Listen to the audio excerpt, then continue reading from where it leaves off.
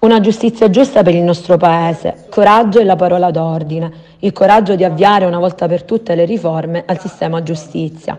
Questo è il tema del convegno organizzato da Forza Italia, tenutosi nel pomeriggio di ieri presso la sala Federica Monteleone del Consiglio regionale della Calabria. A fare gli onori di casa il deputato Francesco Cagnizzaro, vice capogruppo di Forza Italia alla Camera, il quale ha introdotto e coordinato gli interventi di Saveria Cusumano, presidente del Comitato Pari Opportunità dell'Ordine degli Avvocati di Reggio Calabria, del presidente dell'Ordine degli Avvocati Rosario Infantino, prima di entrare nel clou del tema vale a dire separazione delle carriere, abuso di ufficio ed intercettazioni. Stop dunque agli scoop giornalistici e maggiore attenzione nei confronti della riservatezza dell'indagato. Bisogna essere rigidi e incidere in modo risolutivo e deciso senza affidarci a rattoppi di legge o normette, ha dichiarato il capogruppo della Commissione Giustizia alla Camera dei Deputati Tommaso Calderone. Lampante l'ottimismo trapelato dalle dichiarazioni del vicepresidente della Commissione Giustizia alla Camera dei Deputati Pietro Pittalis. Siamo già a buon punto. Forza Italia è determinata a portare avanti questa battaglia. Lo faremo con estremo coraggio e con tanta, tantissima determinazione. A concludere il Vice Ministro alla Giustizia, senatore Francesco Paolo Sisto. Il principio decisivo sarà motore di questa riforma e sarà il principio di presunzione di non colpevolezza. In questo Paese non si può essere colpevoli se non con una sentenza definitiva. Battiamoci dunque per la separazione delle carriere, battiamoci affinché venga tutelata la riservatezza e la dignità degli indagati.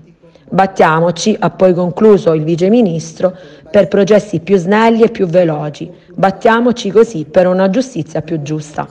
Forza Italia credo che sia la forza politica che più di altre forze, non solo in Parlamento, oramai da molti anni anche sui territori, si batte per una giustizia giusta, per una necessaria riforma della giustizia e lo fa in sede parlamentare con esperti, con deputati e senatori di grande qualità soprattutto di grande competenza.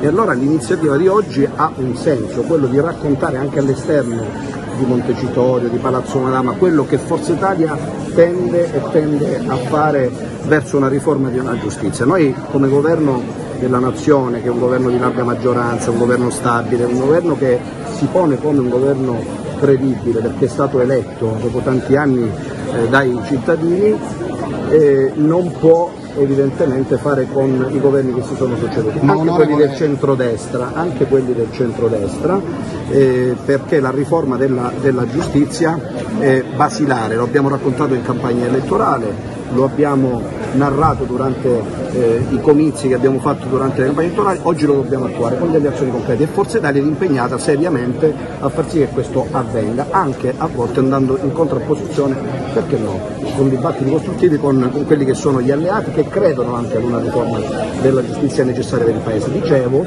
questi incontri per esternare, manifestare all'esterno e raccontare agli elettori, agli imprenditori, alle associazioni di categoria cosa sta facendo Forza Italia, che io ritengo essere la forza politica che più tiene a questa riforma della giustizia e che però noi non possiamo assolutamente deludere coloro i quali, sono tanti, hanno votato il centrodestra e Forza Italia in modo particolare anche perché abbiamo assunto l'impegno di dare ad ogni singolo italiano una giustizia giusta. Gli italiani si devono sentire garantiti, si devono sentire in uno stato di diritto, si devono sentire sereni nell'agire, nelle professioni, nel fare attività nell'azienda, soprattutto anche al sud. Tante volte questo non è accaduto per una mala giustizia. Allora chi è legislatore ha il dovere e il compito evidentemente di dare questo tipo di risposte concrete. Ecco perché abbiamo voluto immaginare un momento così di dibattito, di laboratorio, per dare un segnale al territorio che non facciamo le cose soltanto in Parlamento, ma le facciamo e vogliamo raccontarle sui territori. Io credo che la gente si debba sentire anche tutelata da questo punto di vista.